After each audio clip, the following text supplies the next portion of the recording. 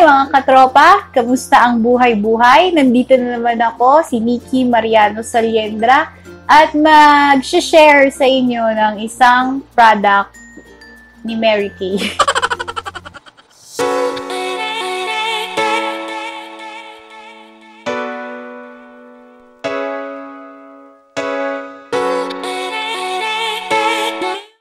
ano nga ba yung isi-share ko sa inyo? Ito ay ang Clear Fruit Deep Cleansing Charcoal Mask. Ano ba itong Clear Fruit Deep Cleansing Charcoal Mask na to? Ito ay isang active charcoal mask na parang magnet sa ating unclogged pores. Nagre-reduce din ito ng excess oil at shine sa ating mukha. At pag i- ini-apply natin ito sa ating face, magkakambis, magkakameron ng visible na pag-clear ng skin natin. Tapos, meron din itong rosemary and peppermint extract para dun sa cooling sensation ng skin natin. Yung parang malamig. Paano ba ito gamitin? Madali lang naman. Ito ay ilalagay mo lang sa mukha mo, 20 minutes, tapos, mararamdaman mo na yung effect. Uh, hindi to katulad ng ibang mask na kailangan mo pang ipil yung mask nila. Uh, ito ay washable by water lang. So, after 20 minutes na nakalagay sa mukha mo, uh, maghihilamos ka lang kasi mararamdaman mo na yung gaan nung pakiramdam dun sa mukha. Papakita ko rin naman kung paano ito gawin.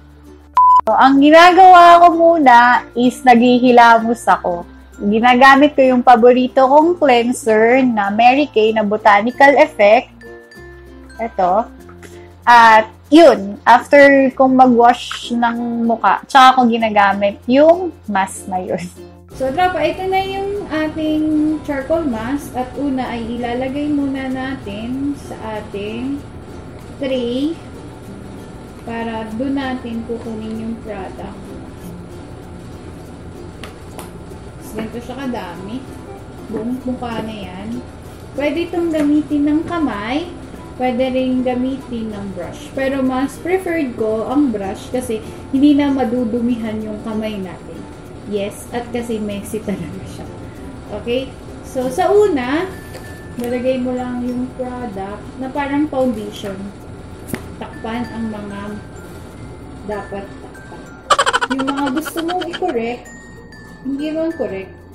Yung gusto mong alsin like whiteheads, blackheads, mag-move ka, mag-ano ka na lang.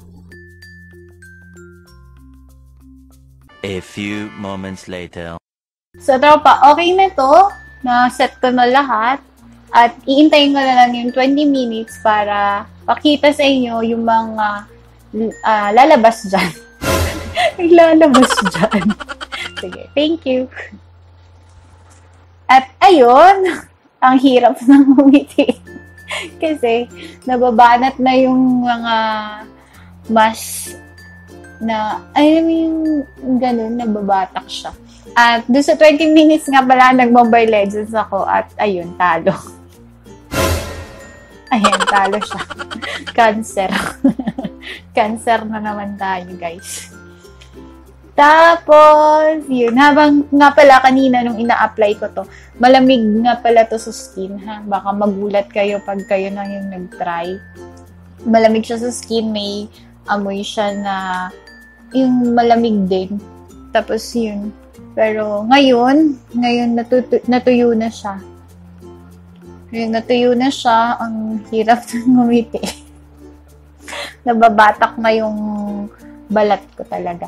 Tapos, napapansin nyo, kung nakikita sana sa camera, yung puti-puti, ayan, yung mga ano, parang blackheads, parang ina-absorb na nung mask.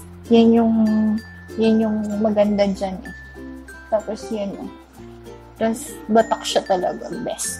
Ito, tropa, o tropa yung mga whiteheads natin, oiliness, yung puting-puting yan, ina-absorb na yung oiliness natin.